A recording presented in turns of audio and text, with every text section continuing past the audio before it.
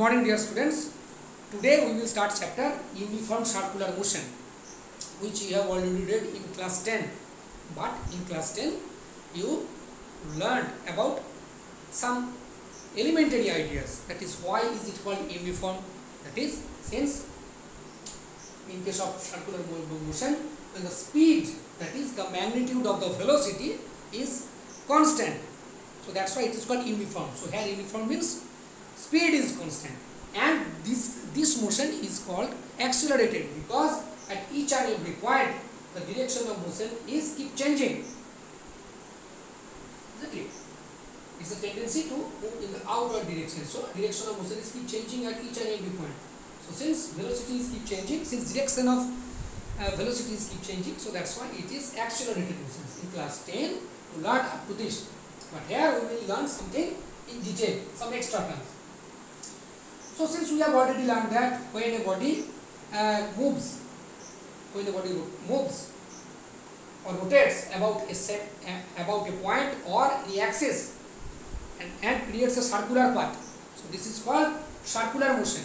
Clear? Rotational motion is absolutely different. When a particle moves about its own axis. Just like the example of uh, motion of earth around the sun which is called it creates a circular path. So this is circular motion. Whereas its motion around its own axis is called rotational motion. So when a body moves in a circular path about a point or any axis is called circular motion. So here while rotating can be shown the motion in anti-clockwise motion isn't it? So it will create a circle. So obviously it will uh, it will have a radius. So this radius is called radius vector the straight line just passing perpendicularly or penetrating the plane of rotation. Since it's a plane? Okay. It's called axis of rotation. Okay. so while uh, executing the circular motion it is very clear that radius vector will also rotate in circular clear? So since uh, a party uh, any body uh, since uh, there are two types of motion that is one is translational or linear motion. So far we have learned. Okay so far we have learned about linear means the linear is after the word line? When motion takes place along a straight line. So that's why it is called linear. But here we will learn about some extra term that is angular isn't it? Because it is not mandatory that a body will keep moving. A body only could have a translational motion. It can take a circular path or it can take turn. So this is called angular when a particle moves in a circular path. So since in case of linear motion we have we, we are already acquainted with the terms displacement velocity acceleration okay. So obviously these are generally considered as linear displacement linear velocity and linear acceleration. So here in this kind of motion that is circular motion we will also have the same kind of terms that is displacement velocity. Obviously the particle will have displacement velocity and acceleration. But here since this is the motion doesn't take place along line or instead of that it is moving in a circular path it is, it is generally called angular. Angular comes from the term angle since it creates some angle at the center. Okay. so at first we will try to understand what is at first angular displacement. So you can see when a particle moves in suppose here the motion is takes place in anti-clockwise direction? So initially since it is it creates a circular path you may take the example of the blade motion of blade of fan or the earth you can assume o is the sun o as sun looking at center and earth is moving in circular anything you can assume. So initially it is at rest at a a particle executing circular motion. Initially when t is equal to 0 it was at position a. After some time it travels to point b so obviously it creates some arc isn't it? So you can see both these points a and b create some angle at the center isn't it? Which is called theta. This is called angular displacement. It means the angle subtended or made by the initial and the final position of the particle at the center of the circle during its circular motion is called angular displacement. Clear?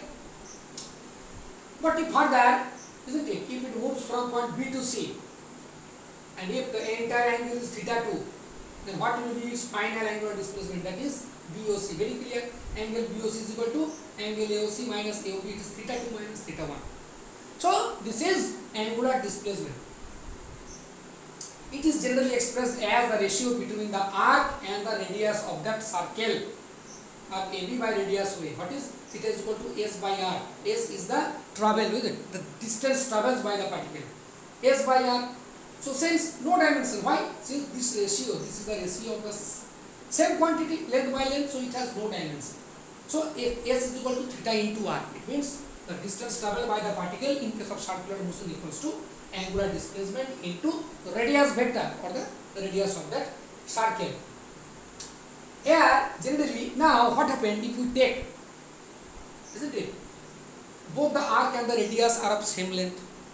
In that case, it is called 1 radian. So the unit of the angular displacement is called 1 radian. So it means the arc, the angle subtended by the arc of a, the angle made by the arc of a circle having same length of radius is called angular or is called 1 radian. So the angular displacement is said to be 1 radian if any arc of a circle okay having equal uh, having equal length of radius okay the angle made by an arc having same length equal to the radius of the circle is called angular displacement clear? So generally 1 radian is 57.30 degree if you measure if you take any particular radius it may be 5 centimeter and then if you take the same arc if you okay measure you will get 1 radian is equal to 57.30 degree okay? So this is angular displacement clear? Now angular velocity again linear displacement from linear displacement then linear velocity. What is linear velocity? Rate of change of displacement linear. So in case of angular velocity same definition that is rate of change of angular displacement that is theta by t. So it means the angle subtended by a particle at the center of a circle at unit time is called angular velocity or the rate of change of angular velocity. Anything. So what is the unit? Unit is equal to omega is equal to, it is generally indicated by or denoted by the letter small w which is called omega. So theta by t. Since the unit of theta is radian, so radian per second is equal to radian per second. Now what will be the angular velocity in case of a complete rotation around a circular bar? So in case of a complete particle execute a complete rotation that is make a complete circle. So the angular displacement will be the total angle subtended that is twice pi pi plus pi that is 360 degree so that is twice pi and t means its time period the required time to to take for the required time for a complete a complete rotation. So it is twice pi n. What is n? N is the frequency which is nothing but the reciprocal of time period. We all know that it is uh, how many times it rotates it completes okay rotates in one second. So t inverse t inverse is the dimension since dimension of omega is equal to dimension of theta and dimension by t that is dimension of radian by dimension of second. Radian since radian has no dimension so this is 1 1 divided by t that is t inverse. Clear? So now angular acceleration. Just like linear acceleration. So linear acceleration what is linear acceleration? That is rate of change of linear velocity.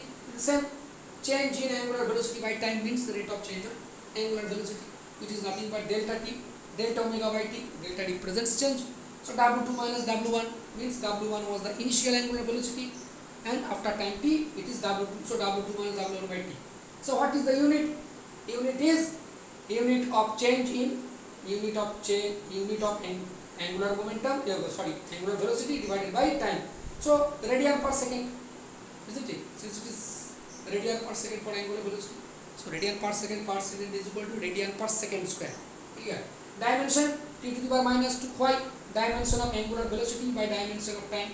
That is dimension of angular velocity what is t inverse? So t inverse by t means 1 by t square t to the power minus 2 clear? So now from here now we just want to learn now we will see what is the direction of isn't it? Angular displacement angular velocity and angular acceleration. In case of linear isn't it? It has a particular direction. In case of linear motion the direction of angular uh, the direction of linear displacement linear velocity linear express linear acceleration along straight line. But what about the angular displacement? Since here the motion doesn't take place along straight line. So for that we need to assume isn't it? We need to uh, follow the right hand screw isn't it? Here you can see.